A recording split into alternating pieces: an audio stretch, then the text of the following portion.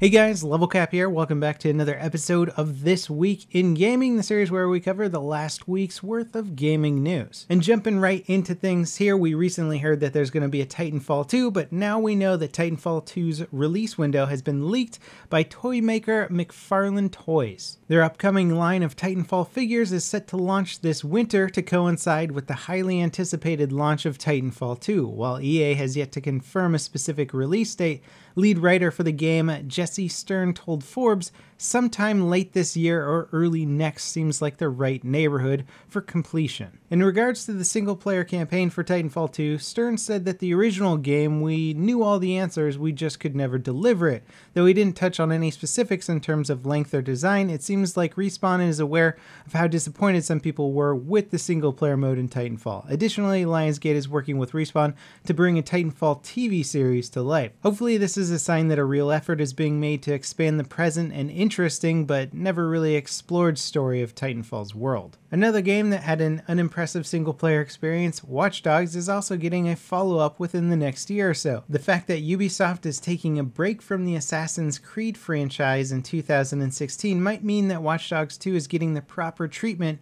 that many people felt the original never got, despite its delays. In Star Citizen news, the Star Citizen single player mode Squadron 42 is being split from the massively multiplayer online portion of the game. Original backers of the game's Kickstarter and people who buy the game prior to February 14th will still get both titles together, but after the 14th, they'll be sold separately for $45 each. Owning one will get you the other one for $15 though, so it's not as much of an investment as some people are making it out to be. Additionally, both games will utilize the same launcher and infrastructure. While the split does fly in the face of their original Kickstarter plan for Star Citizen to be everything you dreamed you could have in a space sim all in one glorious, ever evolving package, it's still not as jarring a split as H1Z1's. Originally positioned to become a single free to play title after its early access program ran its course, H1Z1's survival and competitive game modes are now being split into two separate games sold for $19.99 each. Whether or not they'll eventually be free to play is unclear, but people who pay for H1Z1 before the 16th will get both titles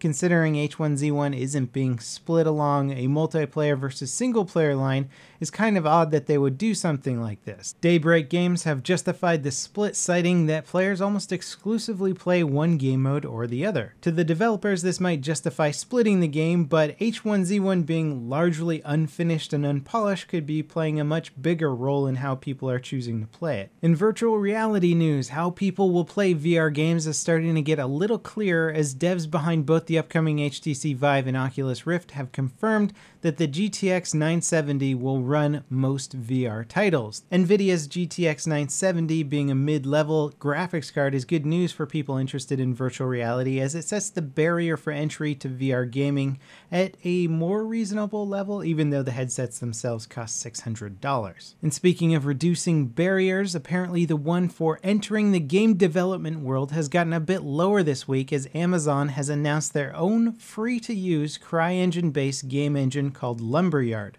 Unlike its competitors, Lumberyard has no license or royalty fees associated with using it, unless of course you want to take advantage of Amazon's web services for multiplayer, and I'm not exactly sure what that means, if you're playing for server rental or what. Interestingly, the engine features some Twitch integration that gives viewers the ability to affect gameplay of Lumberyard games via chat should a developer choose to implement that feature. Why anyone would want Twitch chat to affect your actual in-game experience is beyond me, but who knows, maybe somebody will think of something creative. With game engine costs having plummeted in recent years, it should come as no surprise that there's now a free option available, and a good free option apparently. With the barrier for entry to proper game development now so low, what kind of pressure does that put on established game studios? Someone making a game from their bedroom obviously won't be creating a massive title like Battlefield or Bioshock, but titles like Undertale and The Binding of Isaac are proof that games don't have to be big to be a massive success. And on a completely different note, game piracy. It's one of those things that many publishers complain puts a massive dent in their sales, but it's about to get a thorough examination as piracy group 3DM have announced they won't be cracking any single player games for the next year, claiming that the Denuvo copy protection found in Just Cause 3 was just too tough to crack. 3DM have basically made it clear that DRM is getting much tougher to work around. Much has been said about how piracy really hurts the gaming industry, and this will be the first time that we can actually measure it in any sort of meaningful way. And although a lot of people do pirate games to get around crazy regional taxes that will inflate the cost of the game to $100 or government censorship, maybe this will just put a bit more pressure on those societies to try and change their regional taxes or lift some of the government censorships rather than just continuing to pirate things. And in Battlefield news, wait, what's that? Is there actual Battlefield news? Kind of. Fans of Battlefield 4 may be getting some new content for the title, as indicated via Dice LA developer David Sirland's tweets. Responding to a question about Battlefield 4's continued support, Sirland said, I'm awaiting to go ahead on communication to tell you guys, dot dot dot. Whether this is more maps or guns is unclear, but it doesn't seem to cover anything not already officially announced. Credit to fellow YouTuber Westy for finding this tweet. Xbox One owners are getting some new content to test out this weekend as Homefront, the Revolution's closed beta is now live. The closed beta ends on the 14th at 12 a.m. Pacific Standard Time, so signups are available via the game's website if you want to try that out.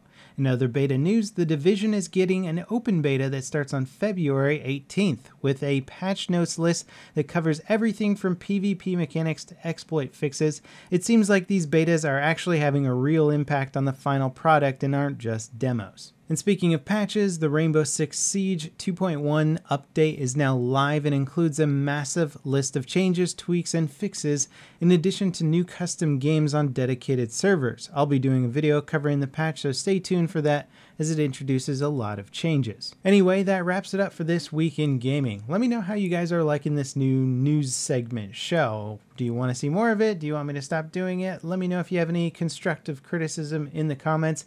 And as always, thanks for watching, guys, and I'll see you next time. This is Level Cap signing off.